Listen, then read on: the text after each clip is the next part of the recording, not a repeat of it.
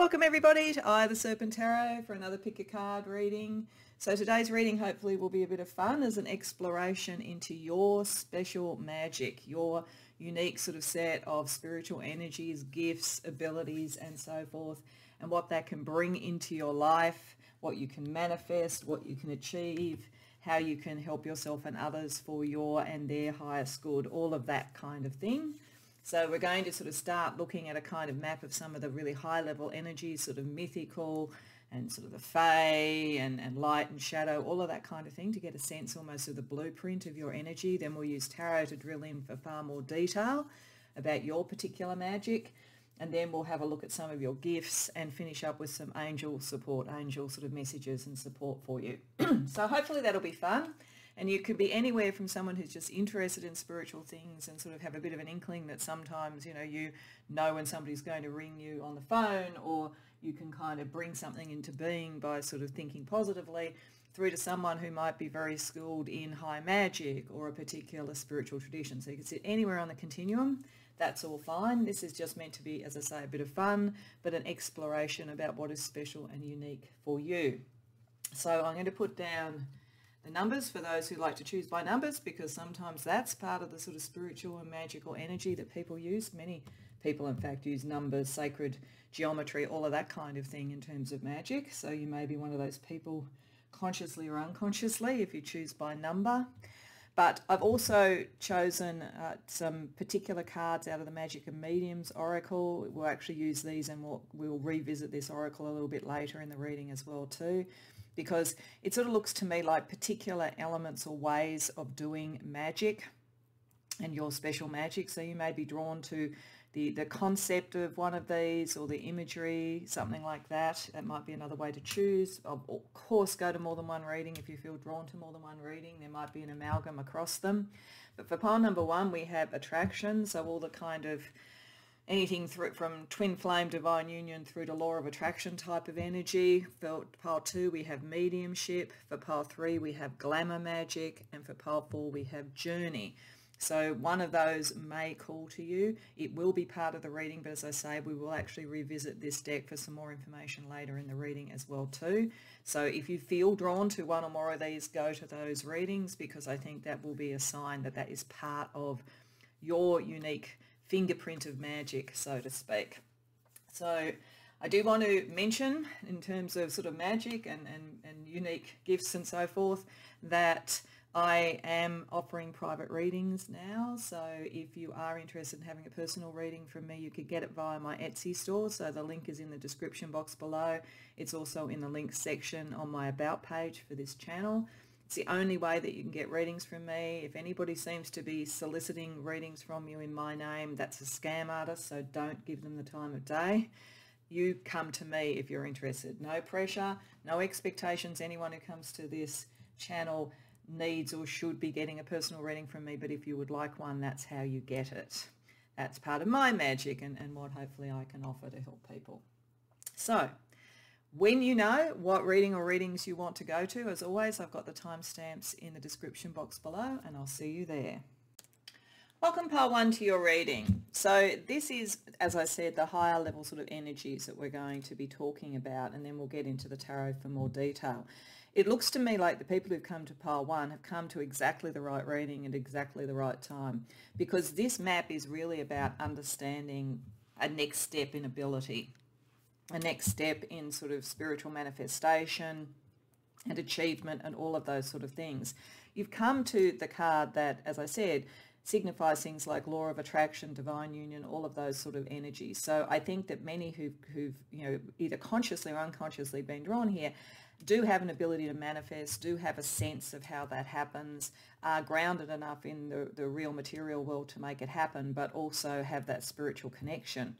What you perhaps don't know about yourself is how much you actually bring to the table with that. I think that many of you probably think that you've just sort of been learning about this sort of stuff in this life. You might have some sort of sense of it from past lives, but but I think that you sort of like exploring spiritual things, you're thinking about that. But in actual fact, it's interesting. We've got some cards from the Avalon Oracle here and then also the Fae and we've got obviously a Merlin type character here and we'll look at what the meaning of that is. There's sort of like information under each of these cards. But a Merlin type character in the Wizard from the Fae, that suggests that there is a lot more heft to what you bring to this. Some of you may, in fact, be studying sort of high magic or something like that, or have a really strong sense and connection, say, to Celtic or Fae sort of energies around having a more ancient understanding. So some of you may know, but it's interesting because this is the light energy around you and this is the shadow.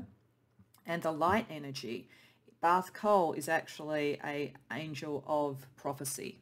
So this is saying that there is a prophetic seer-like ability coming through for you. And it, Bath Kol comes when the spiritual realms are wanting to lift up you to the next level, so to speak, and to have breakthroughs, maybe even to let go of anything that wasn't working. And with translucence over in the shadow energy, which talks about loving the darkness, this is about understanding not loving darkness as in something evil, but in understanding the unknown and being prepared to go into the unknown. This card has a lot of synergy to things like the Fool and the Tarot, so being prepared to sort of move in both light and shadow to be able to get to that next level. So there's a new journey. There's something new that you're moving into, which fits also with the the witch archetype here of the explorer, somebody who is going out to find the new and deal with the new, which ultimately can bring glory. But I do think there's a little bit of a warning when you get Achilles, because of course Achilles is famous for having a, a Achilles heel, literally a point at which there is some form of weakness. So now this could be partly that you don't fully see who you are. And the weakness might be that you don't move into the next phase because you don't feel ready. So it may be a self-limiting weakness. But it could also be that there is something, some part of your learning or your spiritual abilities that needs more grounding or needs more information. It will depend. There certainly is the capacity for glory to bring in a higher order of ability, all of those sort of things for you. But you're about to sort of step into something that is a little less known to you. Maybe something you remember from past lives, but nevertheless that memory has to be brought through. So I always think if Achilles there is there, it's understanding, maybe even with the law of attraction, one of the things I often think about the law of attraction is that we can all theoretically influenced by our thoughts and our sort of desires and, and, and so forth create our reality. But if you think about it, everybody in one form or another, consciously or unconsciously, is doing that at the same time. So one of the things we do have to understand is we don't exist in glorious isolation, that we do actually interact with others. And so possibly that's where the unknown comes. The other is the unknown. And it may even be for some of you, it's bringing in, say, a divine union where the next level is actually going to be challenging in the way those sort of unions can be. And that could be, in a sense, dealing with that could be your Achilles heel. It is good that in this deck, the Achilles card is about glory. So that suggests that you are on a stronger path than some of the other versions of Achilles might be in this deck. And that I think is because of this sort of con- connection to wisdom and the, the, the, the ages and so forth, and certainly prophecy. But I think there's just something, there's just a little warning in here. So it'll be interesting to see when we get to the part of the tarot, which is about what don't you see, because I think that's like spirit sort of tilting towards what extra information or light can be shone on the unknown side of things. Now let's have a look at these. So we have what looks to me like a Merlin type figure and we also have what looks like a lighthouse. So I think the lighthouse fits with the exploration. There's that sense of you're going towards a new destination and with Merlin there is wisdom around it. Let's see what they actually say. So this says your life lessons will be repeated until they are learned. Guidance is on the way. So there could be something. If you if you relate to the concept that in your spiritual development, your manifestation, there, there are some things that haven't worked, and you almost, what is my Achilles heel? then guidance is coming to you to actually bring you through that. On the other hand, if you relate almost to a kind of Icarus type feeling that you get a certain way and then it seems to sort of not go further, like you get too close to the sun, again, life lessons and so forth. So there's something that is going to come through that I think helps you take, take Achilles from being vulnerable through to glory. And then with the lighthouse, we have the path isn't always a straight line. You come back to things that you thought you understood and see deeper truths. Okay, so there's almost a circular feeling to this then. And I do think that many of you, you have actually done this in past lives. I, I think that most of you probably haven't fully looked into that side of things in this life, but there is an, an, extra sort of level of learning that's coming, but it is a returning to something that you've known. And I think you will realize that you have more light in the darkness than you think you have and more capacity to explore.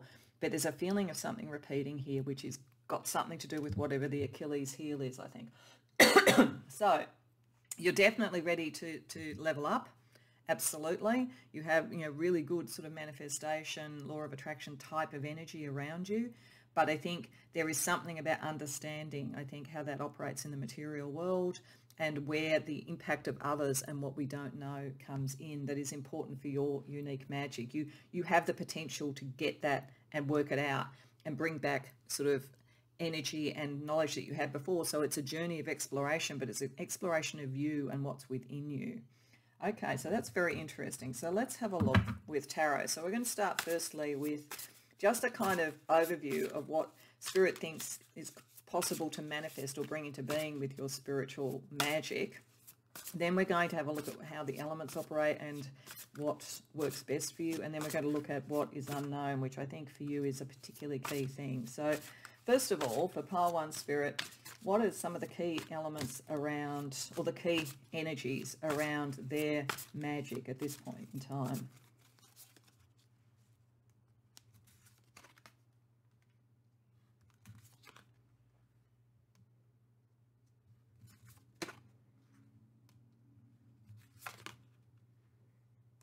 Interesting that I don't I always say don't be too concerned when you see things reversed. I read reversals usually as suppressed energy or stuff that isn't entirely conscious. So I do think, as I say, the people who are drawn here either are interested in things like the law of attraction and manifestation or are, you know, quite adept at it already. But I feel as though there is so much more that could come through and there's almost like a self correction, self-critique issue that's having an impact on bringing this through. Your Achilles heel might actually be that you have to know everything before you move forward. With the Queen of Swords reversed, there is that sense. So it very much becomes a thing where you don't know your own strength. So I think this is part of it. And there's probably why there's this sense of there's there's a pattern that you need to go back to to actually pick up that sort of energy. So I think that's the first thing that Spirit wants to talk about here, that you self-limit on some level, because there is actually a lot of a lot of ability that you have. And it's particularly around manifesting in the material. I feel like what it's saying, what the, the piece is that you're going to see and realize as you work out that you don't have to know everything, that you just go forward and do, is that you haven't fully connected the material to the spiritual. It's almost like the two things are separated. You have the ability to do it, and it's a very important thing if you want to manifest, but it's almost as though you see them as separate. Like that should just automatically happen, and if it doesn't, you castigate yourself. It's sort of the classic thing which you can see in spiritual sort of groups and so forth, where if, you know, magic doesn't work, quote unquote, or something doesn't manifest, then it must be because you did something wrong or you didn't go enough into your shadow or whatever it is. But this is actually saying that it's your own dialogue around that that's limiting you. And if you can reconnect to to that deeper knowledge and wisdom, which I think comes from other lives, you can separate that. But you may have to separate from other people who are telling you how to do something. I think what this is saying is that you are far stronger with all of this than you give yourself credit for. And as such, you listen to the views of others and you self-critique. And all of this is, is blocking you from going to the next level. This is why Bath Kol is coming to you to, to essentially almost whisper in your ear about there is more to this. And yes, it does take a bit of a risk. And yes, it is trusting yourself rather than the teachings of others and so forth. But there's something where you aren't at this point really fully manifesting, you have such an ability to do that. It's also possible that if you're trying to manifest or bring in a divine union, or if you are in one but it's not landing, because it could be at this point with both of those reverse not landing, it is confirming this is a connection like that because we've got both of the same suit, but there's probably a doubt operating on both sides. It's, and and you blame yourself again. So there's there's something here about not not becoming your own Achilles heel it, it, it, it's almost as though you credit yourself with a lot of impact when something doesn't work, but you don't credit yourself with as much impact when it does. And Spirit wants you to understand that you have that ability. You can connect these things. It's like understanding the material outcome of things in the 3D world. Why are we here? Why is that an issue for us? Okay, so let's have a look at how you use elemental sort of energy and and what's sort of working best for you. So this, I'm going to be reading the cards, particularly around this suits and where there's major arcana, the kind of energies that are externally um, developed, and with minor arcana, more what's internally developed. So Spirit, give us an idea about the balance, because this might actually help in working out what bit is the Achilles heel so that you stop blaming yourself and you can work on it. So what, what are the balance of elemental energies for pile one?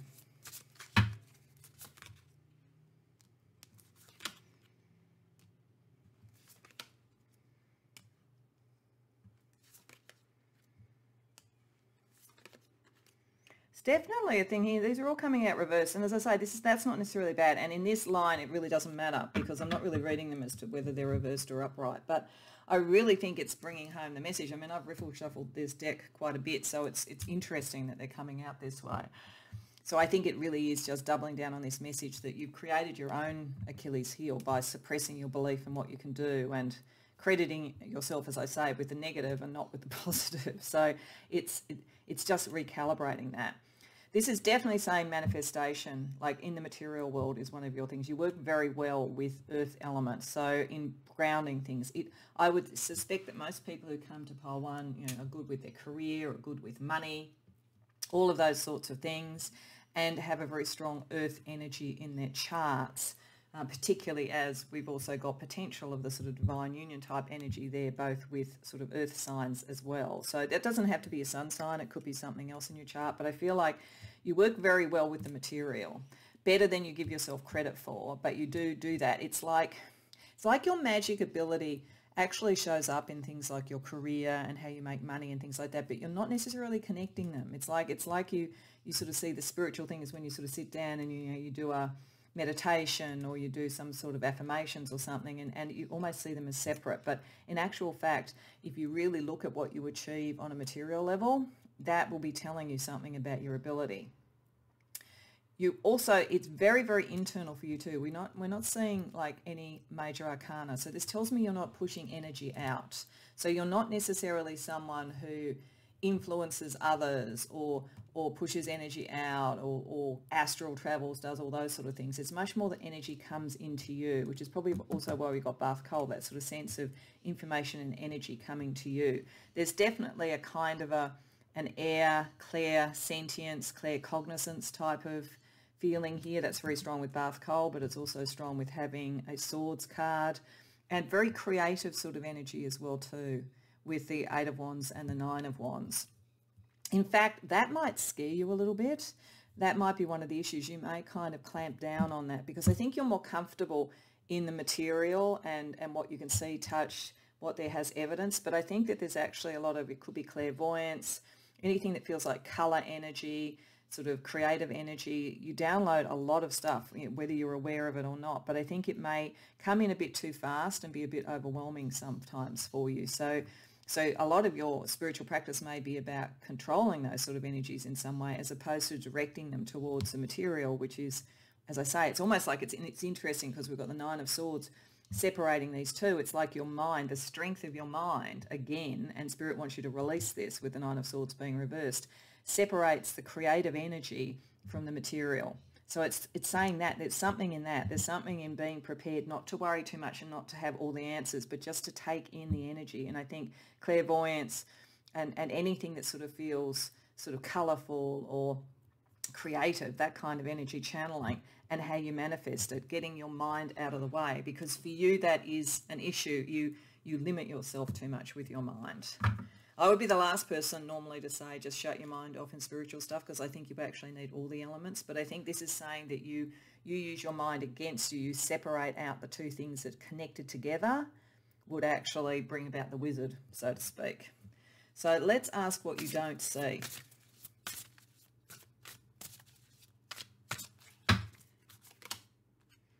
another reversal, okay. And another. Oh my goodness. And another. Okay. All right.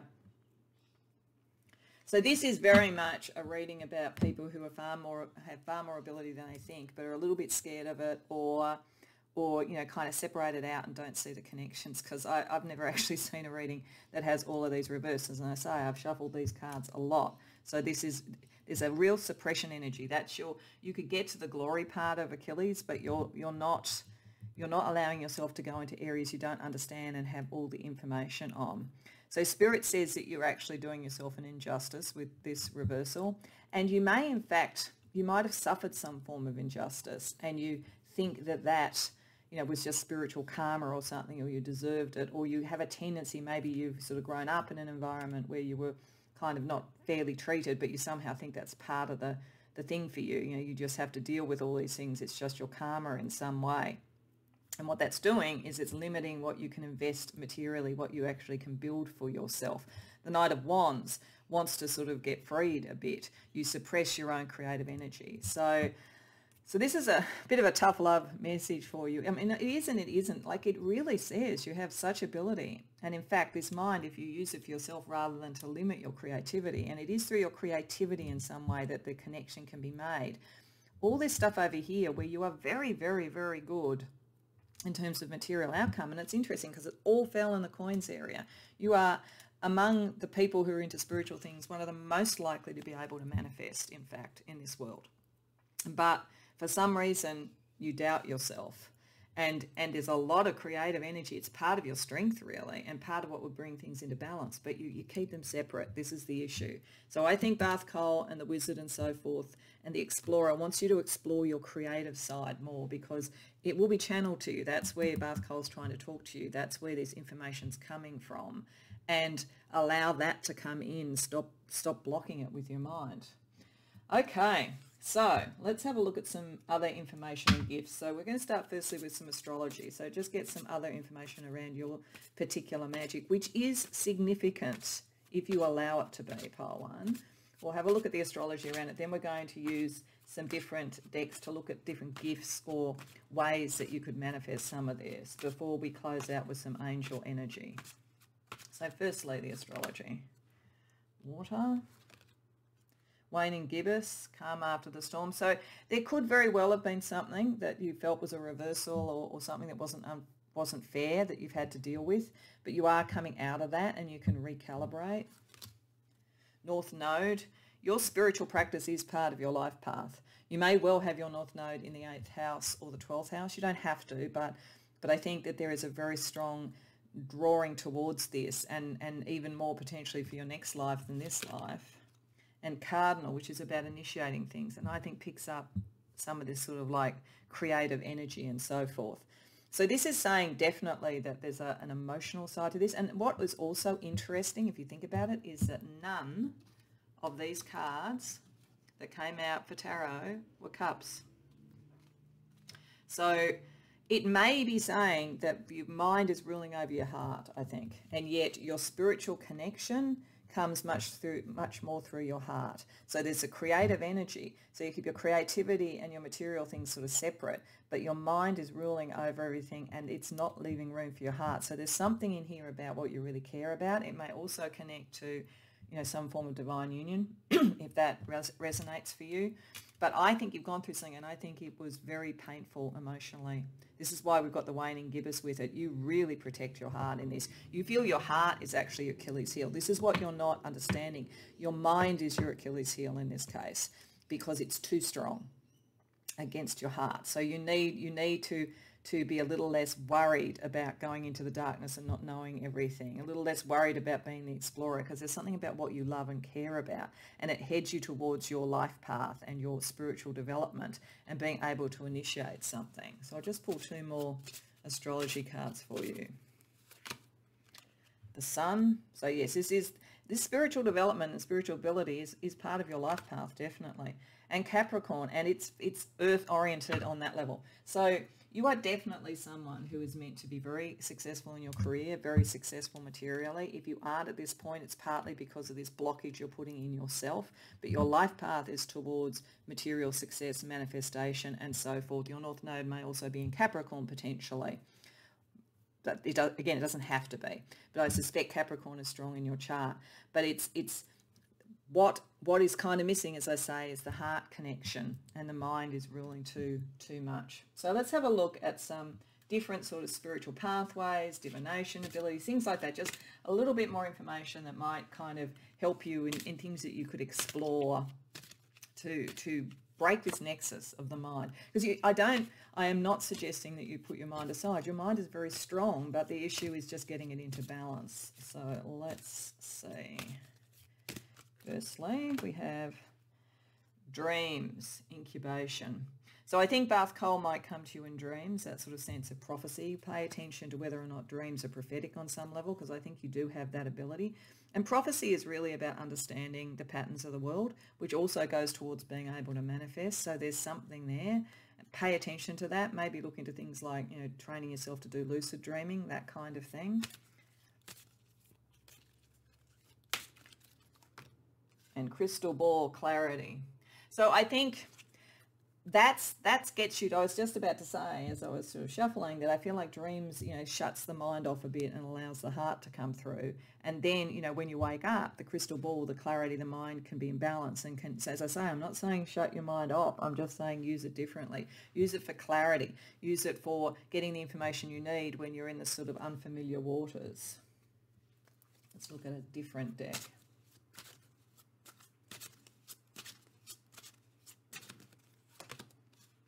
So ascension path for warmth, ether, senses being realigned. Yeah, it's your senses, it's the elements, all of that needs to be realigned because you are, that, that's what it's saying. They're all kind of sitting in their little boxes. That's what it looks like to me. All the kind of creative energy over here, all the manifestation energy over here, the mind controlling the creative input over here, and water sort of off on its own. So there's something about realigning all that and, and putting as much value in all of that, I think, for you. And then we also have life path two, the partner, ruling planet, the moon. Okay, so there is something for many of you here around a significant partner. This goes back to the King of Coins and Queen of Coins. There's definitely some sort of energy around this about the right connection will help. And maybe that's how you get back to the heart. So don't close off options around relationship if, if sort of something comes along and it feels like a synergy on that level. It is part of your life path as well. And we'll get couple of cards from the Supernatural Oracle, and then we're going to get another card from the deck that started this, just to see what else Spirit wants to say in terms of abilities or focus for your special magic, pile one. Crystal Ball. Ah, okay, we got Crystal Ball twice. So you're definitely a seer or something like that. Definitely prophecy, can see the future, very much likely to be clairvoyant. This is all this energy coming through that, that feels creative. You, you can see the future. This is the point, but you see the future because you understand the past. That's what prophets do. So this is this is something that you are being very much urged to look at, to use to use your mind in that way, to understand the patterns rather than to to kind of limit yourself, I think. And then we also have time travel. Finding the right timing. Okay. So you may literally, and like in dreams, you may well be able to sort of lucid dream, astral travel, all those sort of things. I didn't see a lot of energy going external, but it is possible in a dream state that that could occur for you. I think this is also, though, part of the clarity is getting the timing right. And you, because you are really able to connect to the earth, if you connect that back to everything else, I think the divine timing sort of falls into place. Okay, and lastly, one more card from the original deck before we just close out with some angel support and angel number messages. Activation. Yeah. So this is bringing all the elements into, into being and activating them. I, I think at the moment you're separating them out too much. I do think sometimes it kind of naturally happens because you, there's something about whatever you're trying to manifest that, that isn't as protected for your heart or something so that you actually just do it and you go, oh, that worked that time. And then if it doesn't work at another time, you think, oh, well, that's my fault. And you start to kind of overanalyze it. But this is activating the connection of all the elements and so forth and connecting with the heart, I think. All right, so we're just going to pull a couple of angel numbers and then finish off with a couple of angels to watch over you as you as you listen to Bath Kol, I think, and as you connect in with your inner wizard, which is significant, and you bring all these things in together. So angel numbers for pile one. Finances, yeah, you're going to make money out of this. If you haven't started, it's because you haven't got this all in connection. But I think you're already good with money. And courage, yeah, having the courage to sort of take it to the next level. So angel number 888 is saying financial improvements are up ahead. Your angels are asking you to work smarter with consistency, diligence, balance and rest. So, and balance, hear that? The balance I think is the important message in there. But you're definitely meant to make money in this life. And then courage, angel number 555. Your angels are letting you know of upcoming lessons and obstacles. Trust that this transition is for the highest good. So this is the lessons coming through. I think you I think you're always going to be fine like financially, but I think that there's something, whether it's a divine union, they're always tricky and they always challenge us, I think, those sorts of relationships. Or whether it is it is the challenge to sort of bring something creative through. You are able to do it. There are life lessons associated with this. It's meant to reactivate that energy and that magical ability that you have. Okay so we'll just pull two angel cards just to see what angels might also be looking over you and in what areas of your life one angel of unity I think that's I think that's on working on two levels. I think that many of you there is something like a divine union or something like that, and there, there is there is a real life path towards that. But I think for others it's internal unity, unity of all the elements and of all the parts of you and your and all the parts, the ingredients of your magic, so to speak. An angel of tranquility, yeah, and like turning off that Queen of Swords, which you know gives you a hard time, basically being more tranquil, allowing things to happen, you know, knowing that you have, you will have the information, it will come to you from Bath Kol, you will get that sort of sense of uni- unity and bringing yourself together. So pile one, you are very, very magical actually, but I think that you're your own worst enemy about understanding it. And I think it's because you try too much to understand it rather than feel it. And getting that into connection and connecting your creativity with your, your finances, your material things, all of that sort of stuff, bringing that into balance is all you really need because, you know, you were the wizard right from the start. You, you've, you've done this before, I think, and, you know, and you will do it further because this is meant to be with the North Node, your life path. So I hope that resonates for you. I hope it's helpful and you enjoyed the reading. If so, please like the video and subscribe. And if you care to share in the comments, I'd love to hear about it. Otherwise, I hope to see you in future readings. Welcome pile two to your reading. So this is sort of like the high level map of some of your kind of spiritual gifts, your magic and so forth. And you are very magical, but very much in the kind of mediumship, astral travel, otherworldly kind of way because it's come up all over the place. You, you were drawn obviously to mediumship to come to this to this reading and if you have a, a sense that you may be a medium, I think you're right. I don't think there's any real doubt about that. We've got other world here, so that's a connection between the different realms. So it's not just that you're a medium and can receive, I think, maybe sort of messages from those who have passed on and so forth, but I think you move between the realms, the liminal and the material, very easily, whether it's in meditation, in sort of seances, in dreams, but it's very, very tangible. It's very much there. And you're able to go to the depths in, and into the shadow when necessary with Persephone. And that's part of your awakening. But there's an interesting thing because this is this card here is meant to show some of the shadow. There's an interesting warning or or issue for you to think about, I think, coming out in this reading already. And we'll see what comes out with the tarot as well. But I'll get to that in a minute. But certainly, mediumship, seer, being able to see the future, all of that kind of thing around connections to, to other realms and other dimensions, I think. So getting that almost eagle eye view or owl eye view, which we'll get to in a minute. And you are very focused on the light and you're very focused on what is sacred because Dava, Patra is about the Holy Grail and it's about receiving, it's about the feminine. This does suggest to me that most of the energy that comes to you or the energy around your particular magic is in receiving there's you know like different sort of psychics and spiritual people. Some are more projecting energy out some are more receiving. We will see what the balance looks like with tarot but this is very much about the divine feminine. This is very much about the receipt of information and finding the sort of sacred heart the holy grail that kind of thing. So there is a sense of a journey. You have a sense of a mission around this and you are prepared to to march into hell if necessary, if it's for the cause of the light, so to speak, that's definitely there and you're comfortable in all of that. But the interesting thing here, and we'll have a look at the, the energy around the Avalon stuff in a minute, but the interesting thing here around the shadow is this is about making dreams real. It's about tangibility. The, the message of this is whether you get a little bit too off with the pixies, off into the other realms. There is actually a need here to ground this into the world.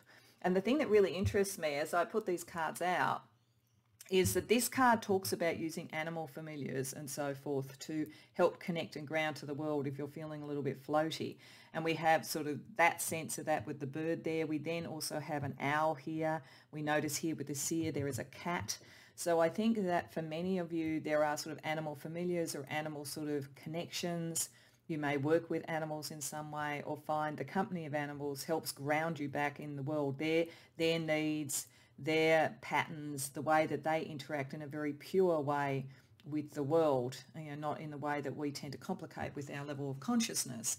There's something about that, about grounding you, and that's necessary because if anybody who wanted to find the Holy Grail had to actually be able to see how that connected to the land. I mean, that was part of their sort of Arthurian legend, really. It was that it was the the, the lifeblood in a way of the land. So there is something here about you have these abilities, but you do need to ground them. And as I say, animal sort of familiars may help.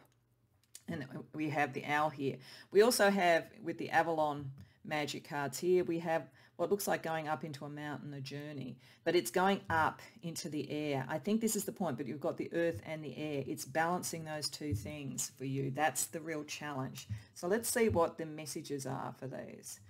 So for this one, gently place your feet on the path you are meant to travel. Yeah, it's and on the path. Place your feet. Feel it grounded. There, there is a bit of a risk for people with this profile of of getting into almost a realm of imaginal things rather than reality. It's like there's a lot of information that comes through, but like how do you work out what is real and is grounded and is true and what is what you imagine? Because there's a very high degree of imagination for you.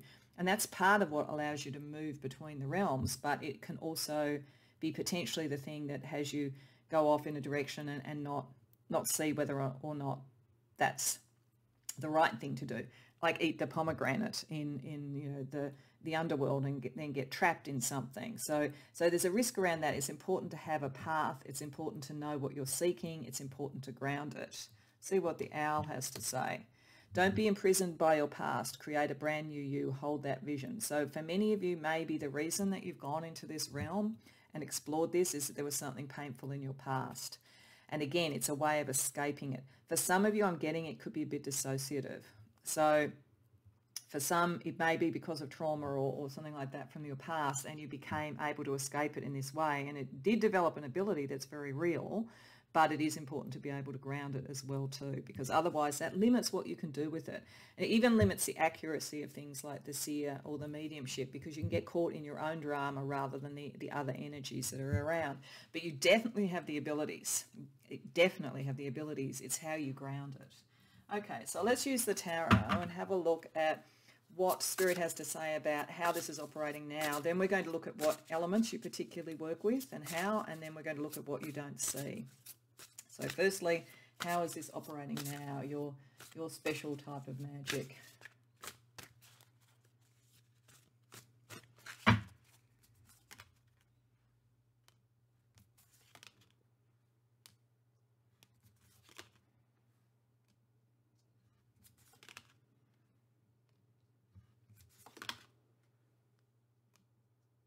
Okay, for a start, it is definitely saying there's stuff from your past. So this is very much confirming it in one way or another, whether it's conscious or not. There's things from family patterns, there's things from dreams of what you wanted to do when you were young. And there's it looks as though there was some emotional uh, limits, emotional sort of limits to what you wanted to do, what you wanted to achieve, and so forth. You've got a very strong healing aspect, actually, both for yourself and for others and definitely around the mediumship like if you if you work with people around people who've passed on or whatever there's a very healing energy that you can bring to things very very clear. The energy actually and the messages you get there are very clear. Spirit is saying that's not really the area where there's an issue. You, when you're connecting on a mediumship level you're, you're spot on and you, you probably already know this or you just kind of sense it. You kind of know, you know you're the sort of person who, you know, as a kid knew when grandma was going to die, that kind of energy. So that's very, very clear, but there's an emotional block or there's an emotional issue that you still haven't fully worked through. And I think it's just saying, again, that it, it's almost like the ability that you have to move between the realms was a way of dealing with that issue.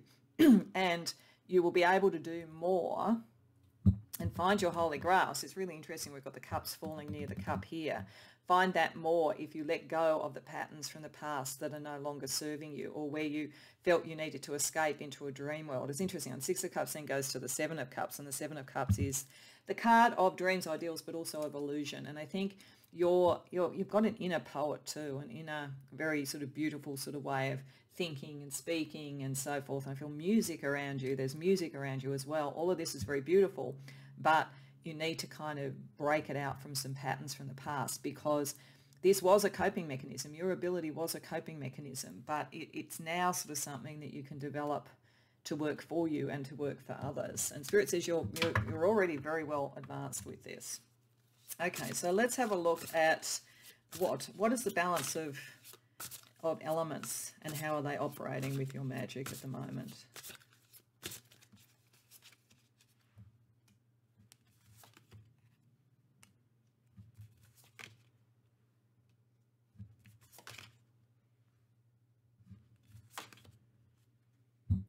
Okay. So for a start, you, you do receive a lot. We did sort of see the receiving energy, but there is also the divine masculine energy. So you're actually, Spirit is saying you're actually quite balanced on that level. It's not just that you receive, but the mediumship and so forth, that kind of thing is, and the otherworldly sort of thing moving between the realms is kind of in the divine feminine realm. But you're also meant to bring something out into the world. And this may be the seer. This may be making that connection so that and this is why it's important not to sort of get caught in patterns of your your personal past because when you're looking at seer or prophecy energy it's probably on a bigger scale. And you need to sort out that energy if you're going to be able to do this. There's definitely a sense that you can can have an impact on the powers of the world and the direction of the world in some way. So you know you may end up doing something like being a medium for or a seer for in some way, you know, people who are quite powerful, or you may use it to be powerful yourself in some way. It's very, very creative though, but it's individual. You're not meant to, to just go along with the pack with the Three of Wands reversed. And in fact, if you have done that and you've just followed what other people did, you limit some of what you can actually materialize. So it is interesting that it's saying that the, the we don't see there, we don't, we're not seeing swords beyond swords there. So swords is working for for your mediumship. But we're not saying we're not saying cups there. So at the moment you're not using that emotional energy and and that may be part of what can bring it into balance, but you have to release the emotional patterns to do it. But you're definitely using creative energy and you're and, and that in, and it could be in any form. It doesn't have to be in classic creativity, though I think some of you may be musical. Yes, I just have a sense of the King of Wands and the King of Cups together being a bit like that, or the heart of a poet in some way. So there's something about that, but you do need to be individual and you do need to think about what you want to do with it materially because you do have the capacity to manifest, but you haven't really processed that yet. You're very much into the receipt and the otherworldly stuff. You do need to ground a bit so that the Emperor and the Fool can go on their journey, so to speak. So let's ask what you haven't seen, what you aren't seeing at the moment.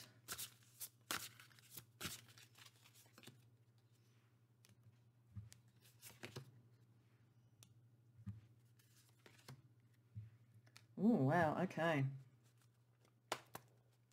So what you're not seeing at the moment is that you actually have, and you, I said earlier that you might read for powerful people. I suspect you will if you want to do this. Uh, there is a lot about power around you and there's a lot about major change and transformation. It could be change and transformation in your own life and, and getting away from your own shadow and these issues. There might be a lot of energy coming through and it's necessary to do that right now and to free yourself from that kind of mental pain. So on a personal level, this is a real call to arms to say this is time to let go of that because if you don't let go of that, you'll stay imprisoned by it and, and constantly feel like you're sort of going round and round in circles with things being embattled in some way and, and you'll want to keep dissociating.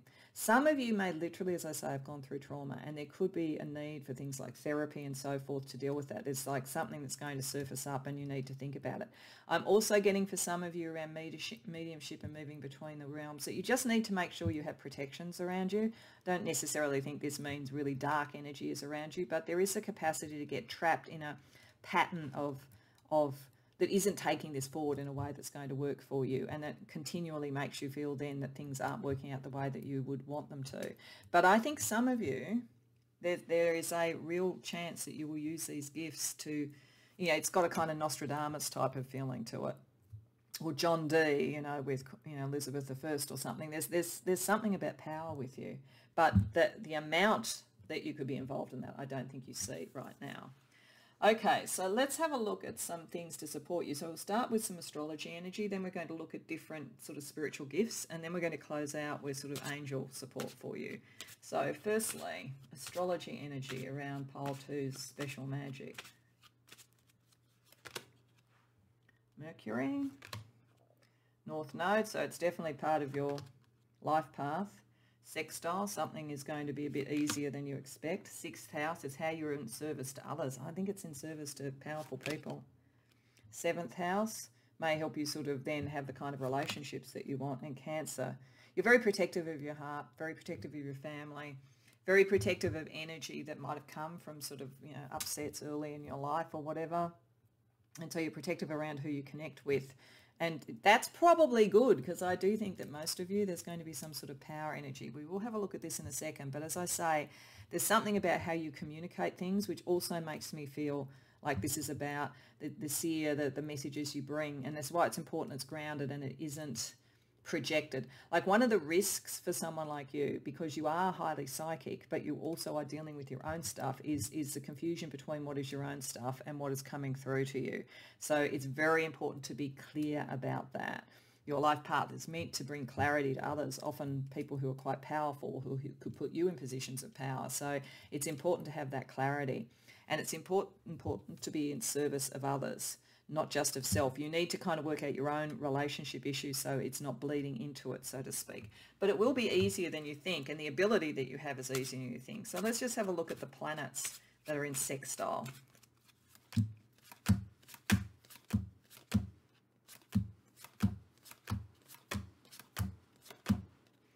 Mars, so this is ambition there. There's definitely power around you.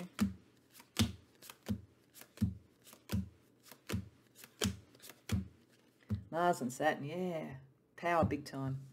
This also suggests to me that there's always been power issues around you. So there was something about power battles, power competitions, the, the imprint of at least one parent or something, possibly the father, but not necessarily could be just the most sort of like kind of aggressive of the, the two parents or whatever. There was there was too much ease in a way of that controlling you at one point, and that's part of what you're sort of like protecting yourself from. But there's something in it you can understand because in understanding that dynamic, I think it helps you with the more powerful realms that you could be working in. Okay, let's have a look at some different divination and spiritual gifts and pathways that could help further describe your your special magic, Palpu. I Ching change. So you might be very good at reading the I Ching if you want to look into that. But I think I Ching to me is about change. And it is very much of all the different divination things, to me the I Ching is the one that most resonates to things like power, military strategy, that kind of thing. So for many of you who've come here, there's something about that for you, change agents in some way, either using your sort of spiritual gifts overtly or maybe even covertly in a more conventional job. And phrenology, certainty. Okay, so phrenology is like the, the concept that the different bumps on our head tell us something about our personality. I think that you actually do have such a strong connection to other spirits, other energies or whatever, things around personality, the energies that are coming through, that that is going to be very clear for you. So I think it's how you understand people, how you read a room, how you know the energies around you that will give you the certainty to navigate whatever this power thing is that you're involved in. Let's have a look at some other spiritual gifts or energies. Sacred stones, building relationships. Yeah, it is all about relationships for you. And and that is because, I mean, that's what a seer or a medium does, really. and then it just depends. I think the, the seer is doing it at this power level. Or the medium does it on a more personal level. And maybe you have the choice about how far you take this and so forth. But there's something about that. And also I think this is again saying ground it, you know, it's the stones, it's the earth, it's your one issue. You just have to ground these. You have to understand that you can be a little bit off with the pixies sometimes. And that's not that you're not getting good information. It's just you need to ground it to have the certainty that, that you know, will, will make it useful for you and others. And we also have tarot cards. Wait for clarity. So yes, clarity is important. Certainty is important you need to sort of see the evidence and understand what the different signs are and what are the different ways that you get this information. Tarot cards may be something very key for you. But you need that certainty, but it needs to be grounded. You can't just live in your head and go, I'm, I'm this massive psychic and I have all these things if it's not grounding because it's not helping you or anybody else. And if you dissociate in some level to deal with emotional pain, it's going to make it harder for you to know what is tangible. You do have the abilities, it's just grounding them. Okay, let's look at another couple of decks. So firstly, another one around different spiritual pathways, and then we're going to go back to use the Magick and Mediums Oracle for another card from there, as I said we'd do when I was in the introduction. So we have Ascension Path 4, senses being realigned. I actually think that came up for another one. So that's interesting. There is something about realigning senses, and it's and it's realigning, I think, your emotions and your earth earthly grounded senses. That's what you need to realign, I think, so that you can have this certainty and you can have the clarity that your abilities, you know, need you to have for them to really have an impact on the world. And we have soul number, numerical symbol for what your heart desires. So there's something about numbers. Now we are going to use angel numbers near the end of this reading, so pay attention to that, but also pay attention to things like numerology and so forth. There might be something in that for you. And one more card from the Magick and Mediums before we look at the angel numbers and angel support for you to close out the reading. Meditation. Okay, so it makes sense you would get meditation because you, you do move between the realms. You are very much kind of moving between them. Meditation may also give you the kind of clarity and the grounding that you need. I definitely say focus on things like you know, your chakras and aligning those and grounding them and, and make sure in your meditation practice that there is a lot about grounding this. It isn't all just sitting in your crown chakra wanting to com- commune with the divine. This is actually, you do need to ground it and bring it in, but I think meditation will help you.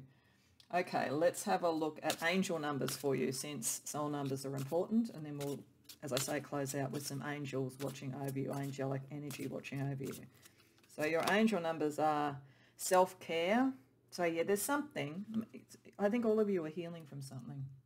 And you need to think about that because it, it's the one thing that could take you off course and, and take you away from the clarity. And gratitude. Okay, so angel number 722. You are being called to take time for yourself, tune into your body, your desires and feelings, and probably through meditation. Like recalibrate that, work out what's going on. You may have so much information coming through if you're doing a lot in the sort of medium and sort of like divinatory sort of side of things in your life for some reason that, it, that you've kind of forgotten about yourself. So do think about yourself. And then gratitude, angel number 8888. You are being reminded to show appreciation for the beauty and power in your talents and abilities. So be grateful for them. They, they helped you when you needed them, and I think most of you did need them to dissociate or disconnect from something at some point. But they are also now meant to help you, but also be in service of others. It's not just about you. And I'm not meaning to say that you're selfish. I'm just saying that there's something about a balance and service to others in this.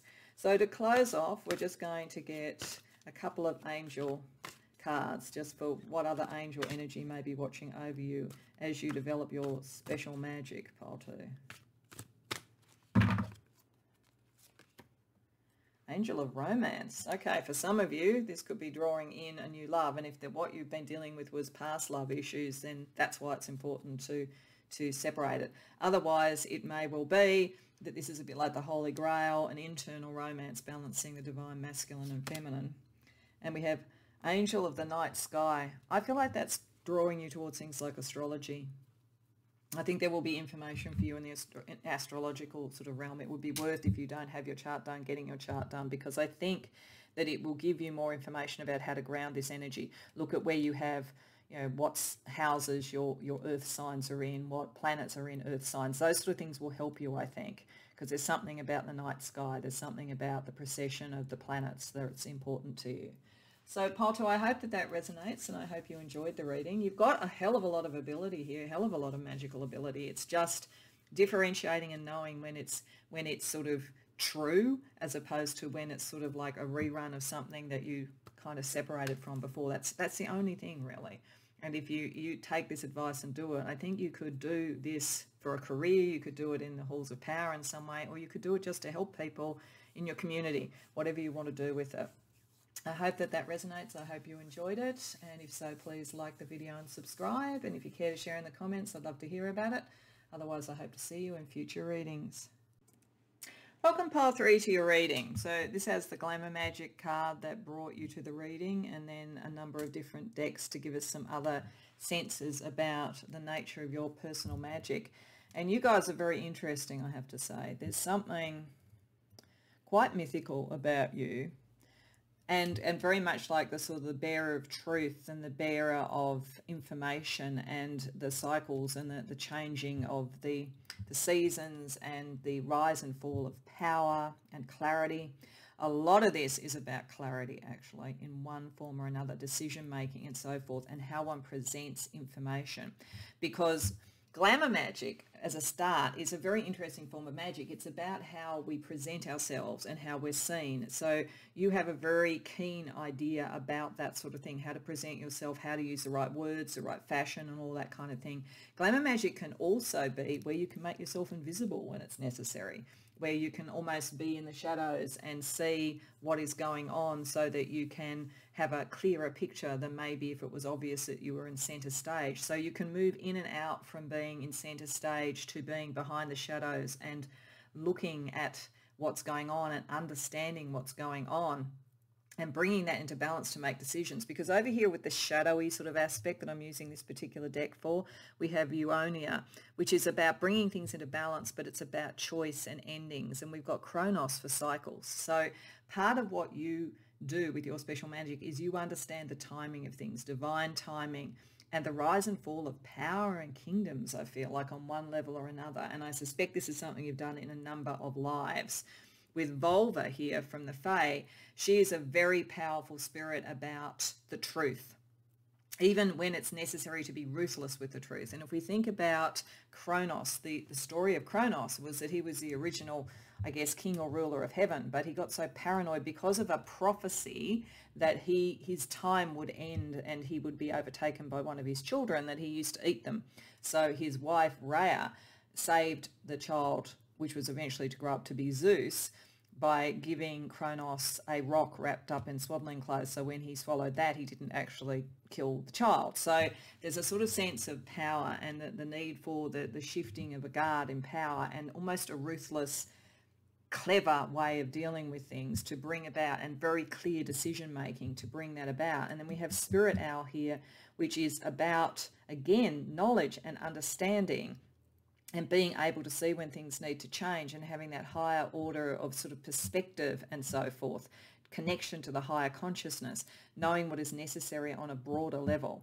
So there's something about you which is in whatever level you work or operate where you understand the dynamics of what's going on around the groups that you're in, the community you're in, the political milieu you're in, whatever it might be and you can see the timing of things. You have a very, very strong sense of divine timing, but you also know how to present yourself to bring that information through. And it's very, very mental. It's very information oriented. I think you're probably clair cognizant, clairsentient, like there's, there's a knowing about you. And it's connected to some degree with a very, very strong spirit guide, I think, which has a feminine aspect. I get a very strong sense of that with this because I feel like Euonia here is like a, a, feminine figure, the sort of like the feminine sort of like understanding of the cycles of life, endings and beginnings. We have from the Avalon Oracle, we have a strong woman figure here again. And then we have the companion card from the, the Witch's Compendium. So there's a sense of a connection. Many of you probably have very strong animal familiars, possibly of the bird variety. But I also think there's a very strong feminine guide around you because this feels like the Lady of the Lake with, with effectively Excalibur coming up. And Excalibur feels to me a bit like the Ace of Swords, new ideas, bringing in the new. So there's something about you. Some of you may, in fact, do this through something like fashion or creativity in some way you bring in the new because you see you see what the trends are, what what is going to be appealing to the zeitgeist, all of that kind of thing. That could be the, the new that you bring in. But you also understand when the old needs to pass out and move on, even if there's some reluctance or if there's power issues associated with it.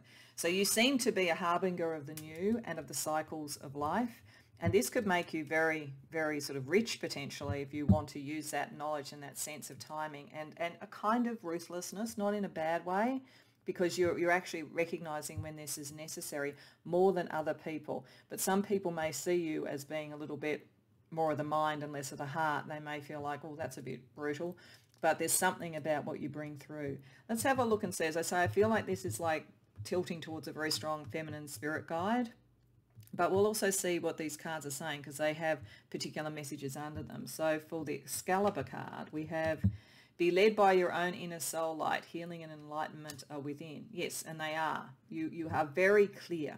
You have a lot of clarity. The issue for you may be that other people may find this almost too clear. So that might be your, and that, that's why you need to call on the glamour magic because sometimes you're going to do what you need to do very front and center, but sometimes you're going to need to do it in a more subtle way, a more Machiavellian way, without necessarily, it's not bad, it's just understanding what's necessary. And then with this card, we have spend time reclaiming your balance, your everything in balance. There you will find peace. So I do think that, that you're in a, in a, because of your particular spiritual magic, you are always in a state of flux to some degree. You see the cycles, you see things on a macro level. And you, so you need to keep rebalancing yourself because of that. And as I say, people will either not see you coming, which could potentially be what you need sometimes, or they'll see you but probably see you, as I say, as being very, at worst, ruthless and probably at best sort of like kind of clinical in a way. So, so it's just knowing how to have the balance and how to have the right people around you. Okay, so let's have a look and see what Tarot wants to tell us about where your particular personal magic is operating right now.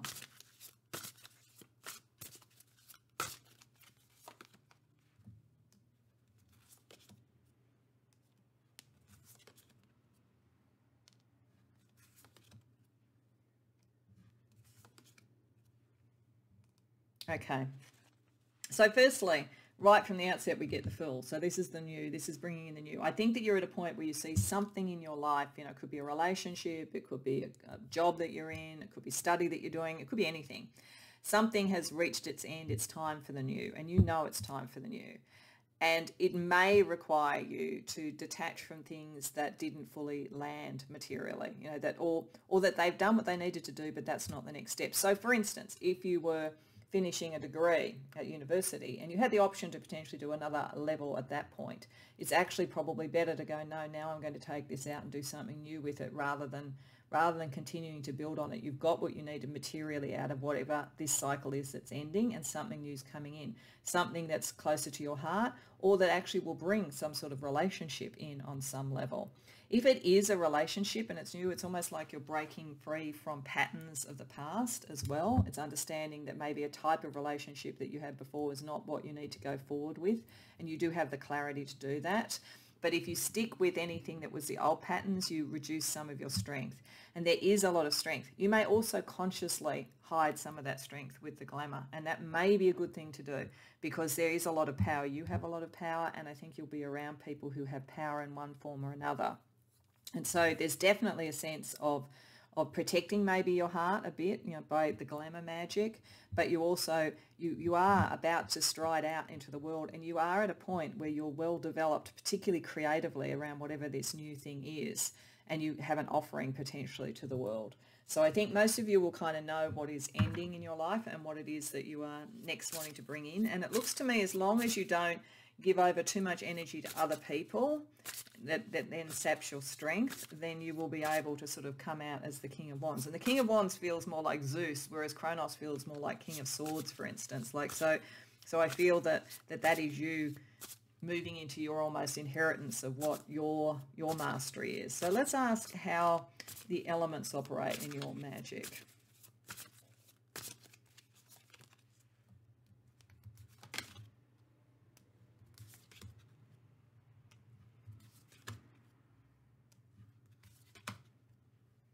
Okay, so there is definitely an external focus and it's a pretty big potential external focus for you. This could be something you could do on the world stage if you choose, because with glamour magic you may choose to do things behind the scenes, but if that's the case you're around people, I think, on the world stage in one form or another, either now or that's where you're developing to. And you can definitely close out energies when they're necessary. So you have this sort of sense of the, the procession of time, the procession of development and ideas and so forth. So that's definitely there. There is some external focus, and as I say, it's a big focus potentially for you. You primarily operate well with the grounded earth energy. So, and you can build money, you can build sort of businesses, you can build careers, all of those sort of things. That's all very, very simple for you because you do know, you do see the patterns, you do see the trends, you do know what's going to be a growth opportunity, all of those sorts of things. And you're prepared to, to walk away and separate when you can see it's time to do that. You can also connect creatively with others. So I think you'll always be more of a leader. But you know, for some of you, it may be quite subtle. I do get that for some of you, you may be working with someone who's very powerful and you're really literally, as they say, the power behind the throne, particularly creatively and in terms of clarity. But you know, you know when to to moderate, you know, what the world sees, if that works well for you and so forth. But certainly the one thing that isn't showing up in terms of elements is that your heart. So the heart is here. So there are potential offerings around heart and relationships, but it is interesting because this card is not necessarily celibate, but it tends to be, I'm only going to be in a relationship if it's actually one that's worth it to me. So there is a, a tendency with you to focus your spiritual and, and magic or gifts on like material outcomes and sort of like the cycles of life, keeping things flowing and moving. You're not you're not necessarily focusing your thing on the heart. That might actually be good in a way, I have to say, because I do feel your potential magic here is in, as I say, the cycles of beginnings and endings, and that may be a bit harsh in relationships. So I think it could be quite wise that you let relationships develop, and if they're worth it to you, then you have the relationship. But it's not, you're not sort of someone who'd sit there and try and manifest a a relationship. I think you have an understanding that things come in their time and, and it's better to let that emerge while you focus more on sort of the material and potentially say the creative. Let's ask what you don't see at the moment.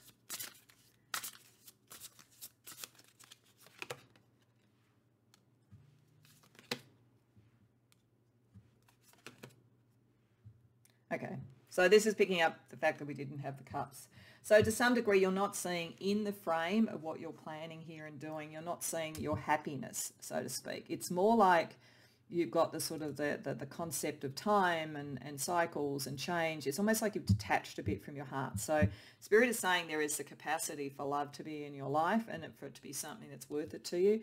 But there may be a very strong focus on the material at the moment. You may not be focusing on that or you may be always thinking, will it move through the cycles or do I get it stuck in some way because you like change and so forth.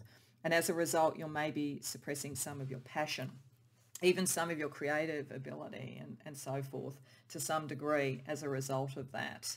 You, you're much more step by step and I want to conserve it if it's emotional energy. I think it's saying you're very, very comfortable with change and, and seeing things clearly for what they are in the realms of the material, creative, political, whatever it might be. But on an emotional level, you're more conservative and you want to know it's going to last and so forth. So I think there's just an understanding of, of when this character here will say, yes, this relationship is right. I don't think it's saying you can't have a relationship. I just think it's saying that maybe you need to, to open yourself to that and not be as much of a sort of like watching it and, and presenting yourself. Because it's also important that this card to some degree means that you choose how you present yourself to people, which I think in most of what you do with your magic, you're going to need to do. But I think emotionally it needs to be sort of more authentic. You need to kind of limit some of that kind of issue around creating yourself and the glamour of it and be more in the heart. So I think Spirit's just sort of saying don't forget that. Okay, so let's have a look at some astrology energy around your your personal magic, and then we're going to look at different sorts of decks that talk about spiritual gifts and approaches before we close out with some angel support for you. So firstly, astrology around your your personal magic. Fifth house. So look, there is something about creativity, but also about romance. So it's saying don't forget that, I think. It's all spirit saying. Eighth house, yeah, you're very you're very into the sort of mysterious and the scorpionic and the depths and so forth. 10th house and you're going to make money with it or it's going to be around power, position, being seen in the world and so forth. And ninth house, there's higher learning and sort of like you've learnt things around this. You understand the, the realm that you're in, you know, and I think that could be both material as well as sort of psychic. Sextile, something's going to be a bit easier than you expect and Virgo very much connected to to grounding everything. This is why the the the Pentacles energy is so important. You do ground things. You do understand the material impact of things. Let's have a look at what the sextile is. Uranus, so it's about change. Yeah, cycles, change. And Mars, yeah. You can definitely take things through change. You are you are very strong in that. You you are it doesn't it doesn't faze you in the way that it fazes other people because you can sort of see it on a higher level perspective, I think. And you understand it and you are prepared to have the strength to do that. So you're a natural change agent and a natural sort of dealing with power and change around power as well. And it's interesting because that there's a very strong divine feminine sort of feeling around much of this, but this is also saying that you have the kind of connection to the divine masculine as well. Let's have a look at some different gifts or approaches that could help you with your personal magic, file three. Fire, spontaneity. So this is the creativity.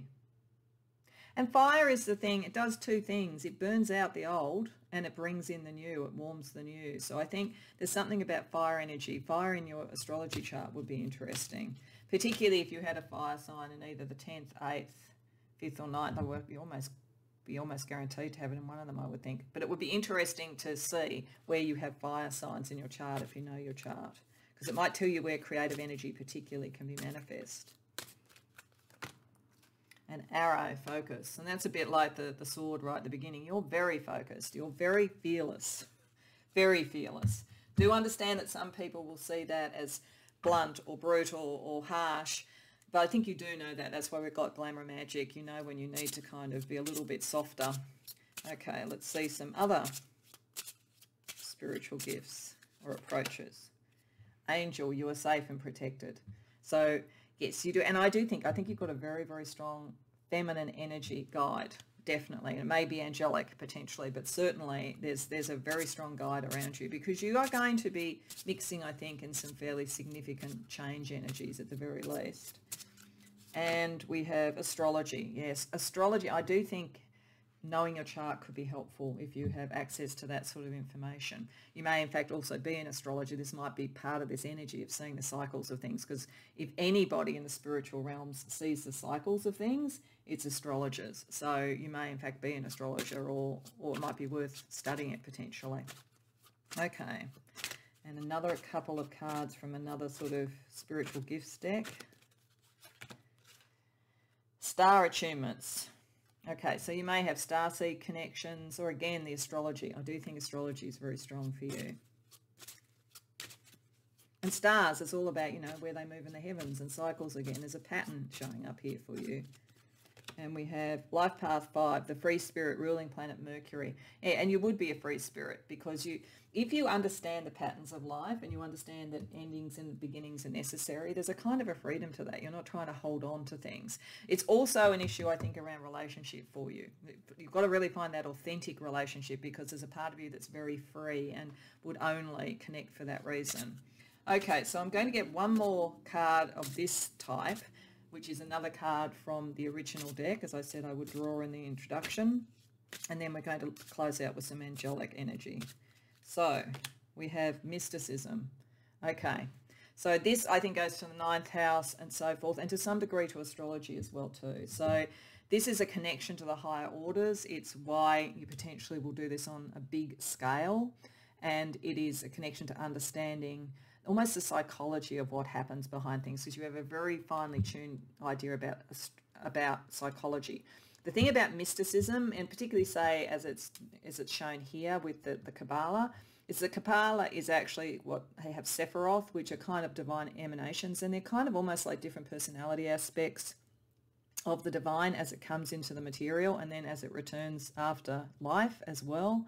So there is this sense here of understanding the psychology of things.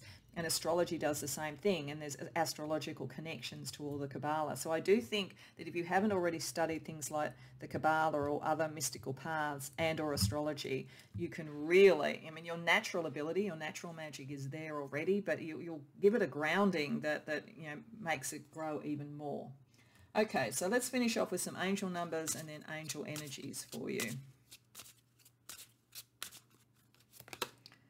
So we've got protection again. You're definitely protected. If you're worried, I do think many of you are going to be in very powerful sort of environments and a lot of change and a lot of potential debate around things, but you are protected because you are doing what you're meant to be doing. And courage. So you need the, the courage, obviously, to do that. So angel number 40 for protection. Your angels are letting you know that you are safe and protected. Feel the warmth surrounding you. And you've got it with the fire. So maybe you literally feel angelic energy as warmth and then courage, angel number 555. Your angels are letting you know of upcoming lessons and obstacles. Trust that this transition is for your highest good. So you're you're going to do it. I actually think that if you, you have the courage already, I actually think if you start using that energy around learning some things, new things that, that can help you understand the cycles of things, that will that will kind of make sure the lessons work for you. You're working with that energy really well if that's the case. So to finish off, we'll just pull out another couple of angel cards just to see any other angelic energy in the areas in life that it, it is manifesting for your personal magic at the moment, pile three. Angel of families. Okay, so there may be almost like this could be a genetic sort of gift that you have or there could be changes around your families and so forth that is part of this and you understand that and, and can help families go through that. It could also be, I think, dynast dynastic sort of families, that kind of sense of dealing with power as well. And we have Angel of Remembrance. So part of what you do, I think, and, you know, and there might be some mediumship involved in this as well too, is is helping people go through the cycles, but also being able to remember and take what was good from something, not sort of like be caught in a grief cycle and so forth. So there's something there as well too, and remembering, and also understanding the cycles of things you need to remember. You need to see when patterns are similar, and what were the signs when you know particular points of change are coming up. So I hope that that resonates for you, Pile 3, and I hope you enjoyed the reading. If so, please like the video and subscribe. And if you care to share in the comments, I'd love to hear about it. Otherwise, I hope to see you in future readings. Welcome, Pile 4, to your reading. So this is the journey card that brought you to the reading, and these are some other cards from other oracles I think help give us a bit of a sense of almost at a mythic level your special magic. And there's a kind of a dual message in this because it is definitely talking about what your spiritual magic is and there's a couple of levels to it that I think it's showing clearly but it's also I think showing a point that you're at at the moment. And why I say that is that this card to me always like speaks of shamanic sort of journeys healing and so forth. And the Fae card here is also about about nurturing and healing and very specifically about a need to do it for yourself. So there's a kind of a journey within to heal something within. And this deck I was using is almost the shadow aspect, not in a bad way, but in the sort of like the less clear aspect of what is going on with your spiritual gifts. And we have a render, which is a card about things ending so that new cycles can come in. It's a very feminine card. It's about wisdom coming in and understanding coming in, but something is ending. So this feels as though it is saying that the people who come here, if you come to the right reading, you have a natural shamanic ability to go into the depths, to heal, to heal yourself, to heal others. That is one of your spiritual gifts. It's one of your special magic. But there's actually a need to be using it for yourself at the moment.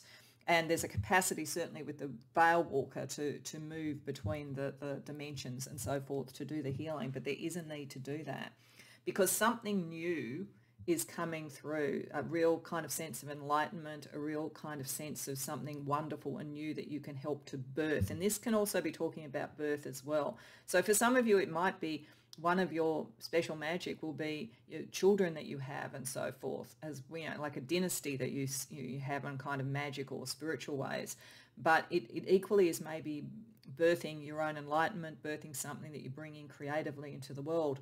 Because eos is a daughter of titans and her brother was the sun and we have the sun here in the white light oracle. So that's sort of like the light side as opposed to the shadow side.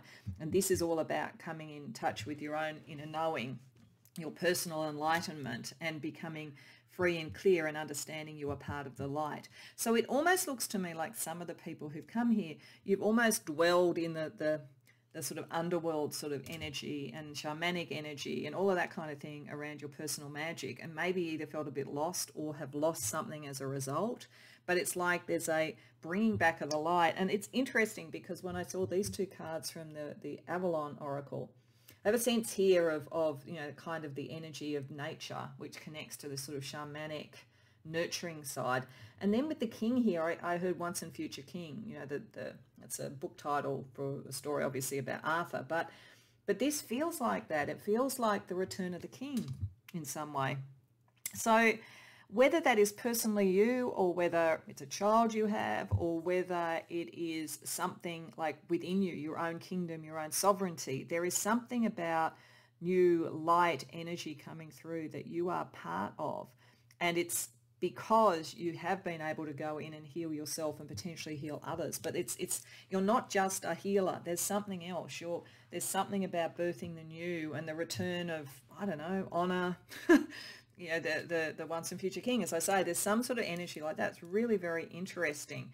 And, and you are somehow party to bringing that in. So that's really interesting. Let's see with tarot what Spirit wants to say about where you're at at the moment with your personal magic.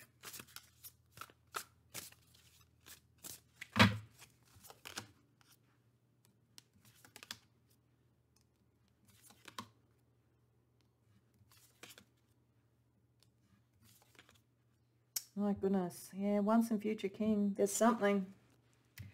There's something very Arthurian, very mythical about this, but there's there's also something about power. And as I say, it could be your own personal sovereignty. It depends on how this how this, you know, works for you. It could be moving into leadership positions in a workplace or something like that, where your personal power and magic to heal an organization and bring through the new and bring through light and the next regeneration could be part of it.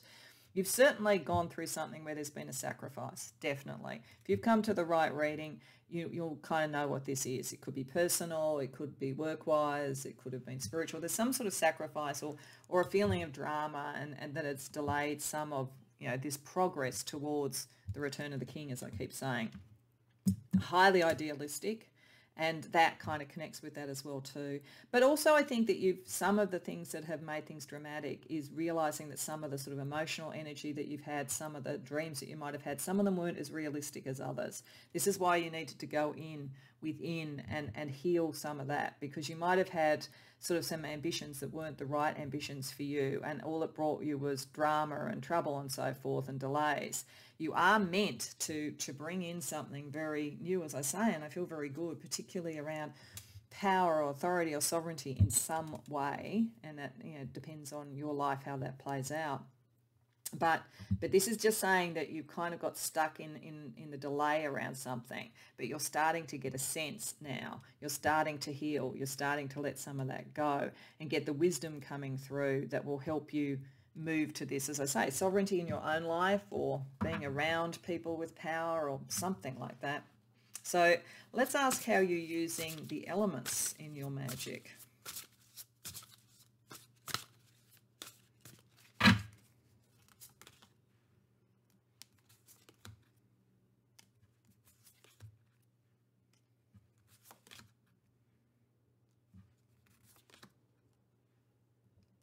Okay, so you're highly empathic. A lot of your a lot of your sort of like healing energy is emotional.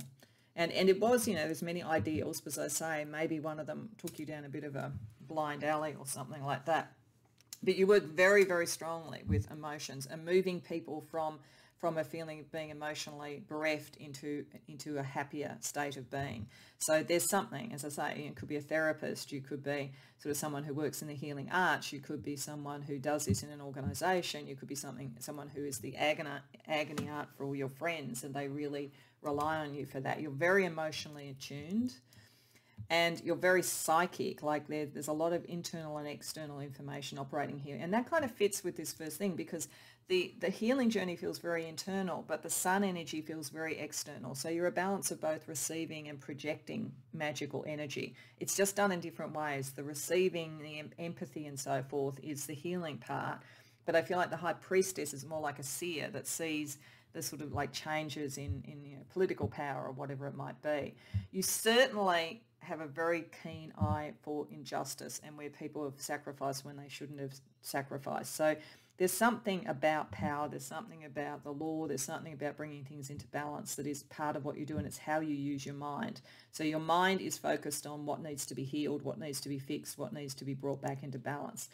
The least the least sort of focus for you probably, well, in fact, the least absolutely is the creative. You're not necessarily thinking of creating per se, even though there's a creative energy in these. It's like you're not necessarily manifesting it in a way that, you know, you want to write a book or paint a picture because we don't see Wands energy there at all. But we do, and, and we only see one material thing, the King of Coins. It is well advanced because it's a king, so you're, you're very materially savvy, but it's not where you're focusing your spiritual light. You're focusing your spiritual light on healing emotions and then being able to predict the coming of the sun, I keep getting like there's there's something very interesting. I think many of the people who come here are going to be around some very interesting people and or develop yourself into a very interesting person on yeah some level of sort of overt scene stage in some way.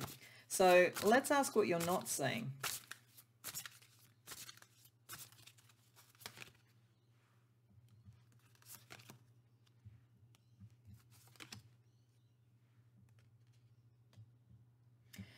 One of the things you don't see is that you actually feel really guilty about the concept of making money or, or you know, having a business or doing something in the spiritual realm. You sort of feel like you shouldn't do that to make money. Like you really carry a bit of guilt around, you know, material outcomes. It's probably why the King of Coins is there. You could do it, but you feel like you shouldn't do it. You should be healing people and you should be bringing the sunshine. But you, you, you kind of suppress your own capacity to make some money out of it, do it as a business. But if you did, you'd do it really well. And in doing it, you'd be in more of a position to, to bring in the sun and to stop the injustice. So I think you have a little bit of a guilty conscience that you don't need to have about spiritual matters. Maybe because, you know, the shamanic sort of journey that you go on often feels sort of really dark and so forth, and you feel like you should be spreading love and light, um, that you're not really sure how to balance that off. But Spirit is saying don't, don't put such a, such a value value thing against that saying that it's somehow not spiritual to think about the material. In fact, for you in particular, because there's something you're meant to help to, to bring into the world in one way or another, it's what you're meant to do. And like looking at that is, is and understanding that and accepting that it's something, it's gifts that can help you materially because that also puts you in more of a position to help in other ways other people is fine. It's not something to feel guilty about. You may have had that sort of put into you from childhood that spiritual matters are not material, you know, that, that, you know, we get our reward in heaven or whatever. But this is actually saying, well, no, you can have a reward on earth. There's nothing wrong with that. Okay, so let's have a look at some astrology energy around you.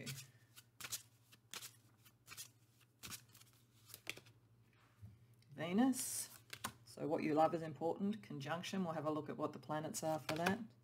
10th house. Yeah, you're meant to you're meant to bring this loving nature and caring nature into the 10th house, into this. You're not looking at that at the moment, but you're meant to because you're, you would rise very far and you are meant to be around other people who are very successful. And yes, first house, you're meant to be seen. It's not just a sort of, you know, there's something about, you know, who you are in the world that is supposed to make you some money. North Node, your spiritual practice is part of your life path and south node. So there are things both to, to bring in and things to let go. So whatever this pain was, it's time to let that go, I'd say. And if there's guilt around material things, it's time to let that go. The north node is saying, you know, that you are meant to, to do something in the world and sort of bring in sort of love and light and so forth. Let's see what the conjunction energy is.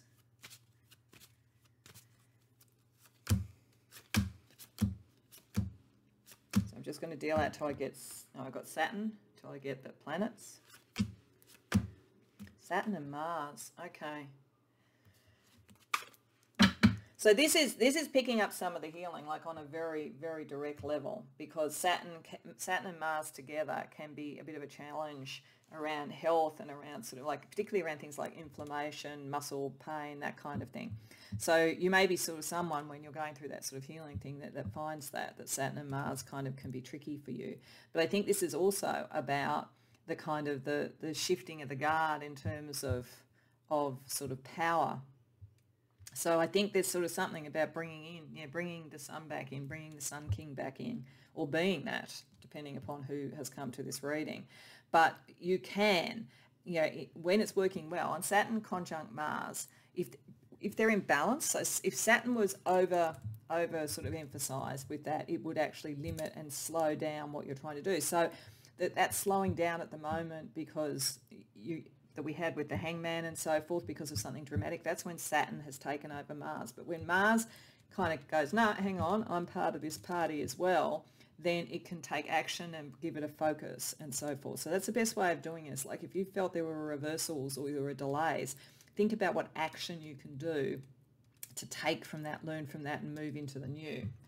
Okay, so let's have a look at some different gifts.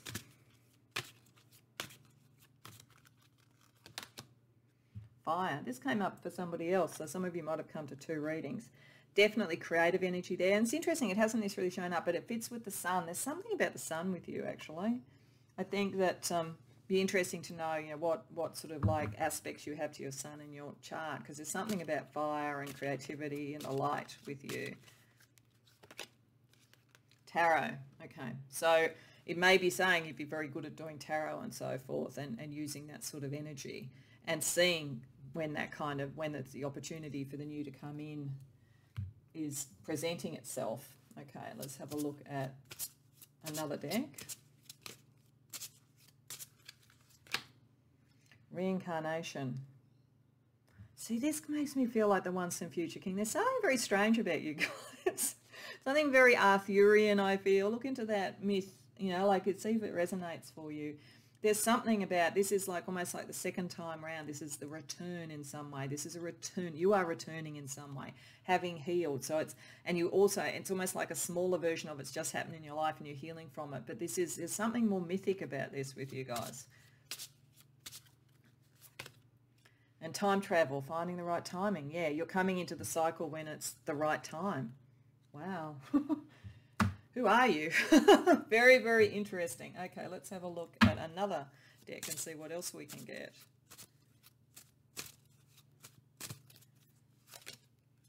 Clairvoyance, clear seeing. So you probably very much have clairvoyance. You can see what's coming and so forth. And I think that probably operates very strongly in your shamanic journey. You're probably very visual in what you do there.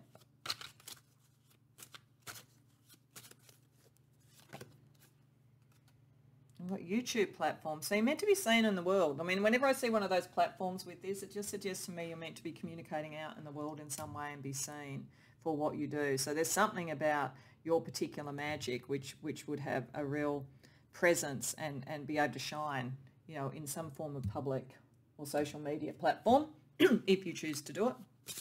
We're going to also get a second card from the Magick and Mediums Oracle, so from the deck that, that you chose the card to come to this reading to see what else that says before we just close out with some angelic support and messages for you. So we have activation. That came up for somebody else as well too in another of the readings. This is definitely saying it's time to activate some of this energy. So you really don't get stuck in the healing. Just let it go now. You've done what you need to do. It's time for that sun energy to be coming through. It's time to activate who you are in some way and to have faith in what you can see that's coming through. Okay, so let's get some angel numbers for you and then also some angelic energies watching over you to close out the reading. So angel numbers, we have mindset and simplicity. Okay. So angel number 111, mindset, says your thoughts need refocusing. This is a reminder that you're a spiritual being having a human experience. So whatever, I just think it's, yeah, you've got a little bit stuck in something that hasn't worked, something that's been painful, something that you've had to heal from. But really, I think the angels are saying you've essentially done that. You just need to sort of take the step towards the sun and the light and so forth. And maybe what will help with that is simplicity with angel number one, two, three, four. You're being encouraged to simplify and organize your life. Release what doesn't serve you to welcome in new energy because there is new energy coming in. The next stage of whatever this myth that you're living in a way, and I don't mean myth as in it not being true. I mean in terms of sort of something bigger, larger than life. It's, it's trying to come in, so simplifying things would be helpful and having a clear mindset would be helpful. Okay, Last but not least, we'll just pull a couple of angel cards to see what other angelic energy might be around you and in what areas of life. Angel of truth. Yeah. Because you've been down in the depths and you've seen the truth and there's some new truth that's coming through. An angel of romance. Okay. So for some of you, this, this sort of almost mythic Arthurian sort of energy may be a grand romance and, and and connection, you know, of the divine masculine and divine feminine. For others, it may be just that kind of romantic thing. What was the, with the Seven of Cups, your idealism, that myth, mythology around it, the romance of this, the romance of the once and future king, as I say, and it doesn't have, I'm not talking about gender here, I'm talking about energies. There's something there as well too for you. So you're very interesting. I do have to say it's very, very strange energy, but very interesting and we live in interesting times so we need people like you I think so I hope that this resonates for you I hope you enjoyed the reading if so please like the video and subscribe and if you care to share if you know what this is about I'd be fascinated to hear about it in the comments. Otherwise I hope to see you in future readings